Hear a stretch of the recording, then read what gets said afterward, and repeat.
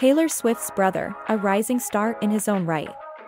Discover the remarkable journey of Austin Swift, the rising star who's gaining recognition in Hollywood alongside his famous sister, Taylor Swift.